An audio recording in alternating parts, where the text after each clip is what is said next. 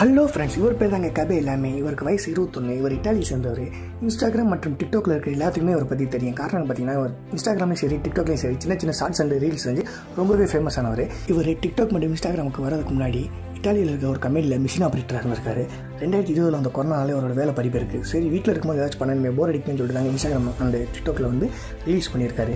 இவர் பண்ணுற ரீல்ஸ் வந்து வேறு லெவலில் இருக்குங்க காரணம் என்ன பார்த்தீங்கன்னா ஒரு மனுஷங்க சின்ன சின்ன விஷயத்தை எவ்வளோ கஷ்டமாக பண்ணுறாங்க அதை எவ்வளோ ஈஸியாக பண்ணலாம்னாங்க. இவரோட ரியாக்ஷனாலே சொல்லியிருப்பார். ஸோ அதனால் மக்கள் வந்து இவர் பேராதரவு கொடுத்துருக்காங்க.